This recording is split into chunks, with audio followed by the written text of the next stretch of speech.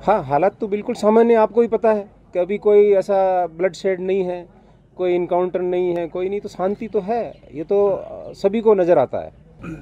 देखिए, पाकिस्तान हमेशा ही जब भी उधर से इन्फिल्ट्रेशन करता है तो फायरिंग करता है।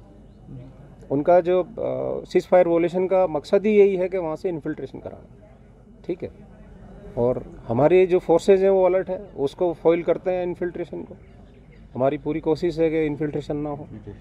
और सीज फायर वोलेशन ये 370 सेवेंटी एब्रोगेशन से उसका कोई लेना देना नहीं ये तो कई सालों से है।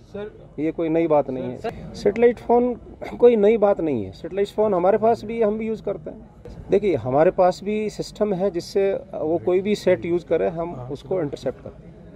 हमारे पास भी अपनी टेक्नोलॉजी है। हिंदुस्तान तो के पास में पाकिस्तान से ज़्यादा अच्छी टेक्नोलॉजी है।